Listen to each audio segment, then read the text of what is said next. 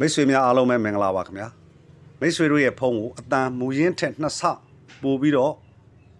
ကျယ်လာစေမဲ့ application လေးတစ်ခုကိုမိတ်ဆွေတို့ဒီကနေ့မျှဝေသွားမှာဖြစ်ပါတယ်ဟုတ်ကဲ့ကျွန်တော်တို့ Play Store ကနေပြီးတော့ application ကိုသွားယူမှာဖြစ်ပါတယ် Play Store ထဲကိုဝင်လိုက်ပါခင်ဗျာ Play Store ထဲကိုဝင်ပြီးရင်ဟောဒီ application လေးတွေကိုရှာတဲ့ search box နေရာလေးထဲမှာကျွန်တော်တို့က Ballon Poster လို့ရိုက်ရှာလိုက်ပါခင်ဗျာဟုတ်ကဲ့ ဟော်ရီဘောလုံးဘိုစတာဒီအောက်က2လေးဖြစ်ပါတယ်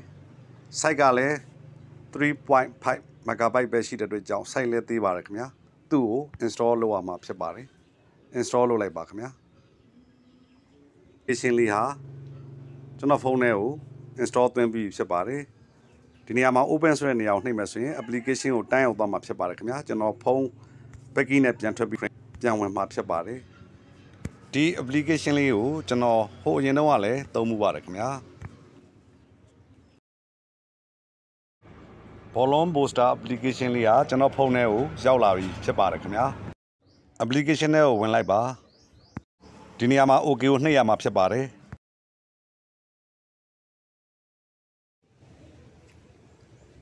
ဟုတ်ကဲ့ဒီနေရာမှာ setting လေးရှိပါတယ် ဒီ setting လေးတွေကိုတစ်ချက်ဝင်ကြည့်လိုက်ပါခင်ဗျာ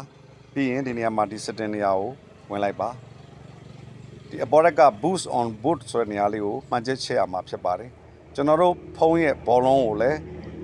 ကျွန်တော်တို့ control လုပ်မယ်ဆိုရင်ဒီမှာကျွန်တော်တို့မှန်ချက်ကလေးပြထားလို့ရပါတယ်ခင်ဗျာပြီးရင်ကျွန်တော်တို့ပြန်ထွက်လိုက်မှာဖြစ်ပါတယ်ဟုတ်ကဲ့ဒီမှာကျွန်တော်ဒါဖုန်းရဲ့အပေါ်ကဟာတော့ဖုန်းရဲ့ဘောလုံးဖြစ်ပါတယ်အဲ့ဒါကိုကျွန်တော်တို့အတူအချော့ကျွန်တော်တို့ဒီရလုပ်လို့ရပါတယ်ပြီးရင်ဒါကို boost လုပ်မယ်ဆိုရင်လည်း မိမိနှက်သက်တယ်လို့ဒီမှာကျွန်တော်တို့ boost လုပ်လို့ရပါတယ်ခင်ဗျာဟုတ်ကဲ့ခဏလေးပြန်ထွက်ပြီးတော့မိတ်ဆွေတို့ကျွန်တော်ပြမှာဖြစ်ပါတယ်ဒါဆိုလို့ရှိရင် ballon booster ဟာ on နေဖြစ်ပါတယ်သူ့ကိုကျွန်တော်တို့ off ကျင်းနေဆိုရင်လေဒါလေးကိုကျွန်တော်တို့တစ်ချက်လောက်နှိပ်လိုက်ပါပြီးရင်ဒါလေးကိုဒီဘက်ကနေရာလေးကို boost ဆိုတဲ့နေရာကို0မှာထားလိုက်မယ်ဆိုလို့ရှိရင်ဒီအပေါ်မှာ boost as off ဆိုတာဖြစ်နေပါတယ် သူ့ကိုတင်လိုက်မယ်ဆိုရင် boost as on ဆိုတာဖြစ်နေပြီဖြစ်ပါတယ်ခင်ဗျာဟုတ်ကဲ့ဒီနေ့ဖို့မိတ်ဆွေတို့ရဲ့ဖုန်းဟာအတန်တိုးနေမယ်ဆိုလို့ရှိရင်အတန်ပိုပြီးကျဲလာအောင်ကျဲလာအောင်လုပ်မဲ့နည်းစနစ်လေးတခုဒီကနေ့ကျွန်တော်မျှဝေလိုက်ရပါတယ်ခင်ဗျာဒီ